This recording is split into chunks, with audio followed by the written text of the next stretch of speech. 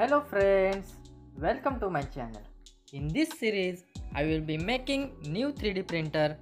As you know, the 3D printing is one of the best rapid prototyping method that it can be used to print any object or part.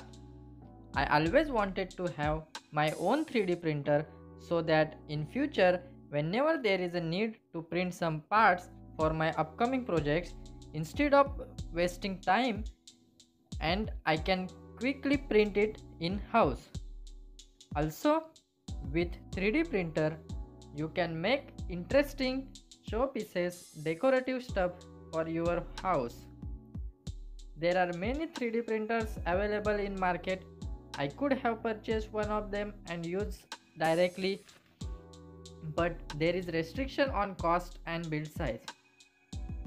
As the build size increases, the cost of printer increases drastically.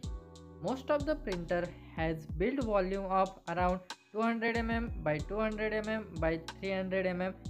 So I wanted to have a big 3D printer having a area that will have build volume of around 300 mm by 300 mm by 600 mm so I can print object of big size.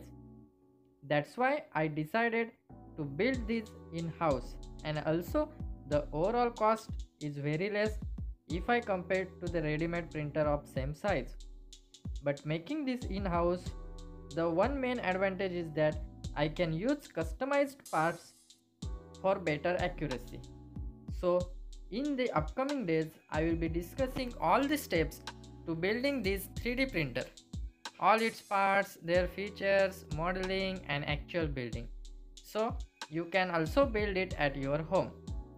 I will be discussing every details so stay connected to my channel. This 3D printer design is inspired by Tech2C channel thanks to him for his development. I will be changing some design construction as per my requirements having a large build volume. So initially I will be making this having a single z axis and single extruder but in future I will turn this to a dual z axis and dual extruder. So here are some parts which I purchased some are from online and some are directly purchased from the shop. For now we will just look some parts. These are the 3D printed mountings.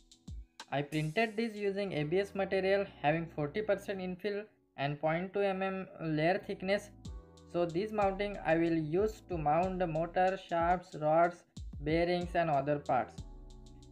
These are the NEMA 17 um, stepper motors for X, Y, Z axis and extruder. Here are some screws and nuts of different sizes. Here are the corner brackets. These are the linear bearings. Here are beds and pulleys. This one is a extruder. This is a single nozzle extruder this is a spool our raw material for printing these are the 2020 T-slot anodized aluminum profile. Those are our the building blocks for the mainframe. And these are some rods and lead screw for X, Y and Z axis. Don't worry I will unbox everything one by one and I will tell you every detail. Here is the power supply. This one is our heat bed platform. There are the electronics arduino RAMPS board and end stop and all.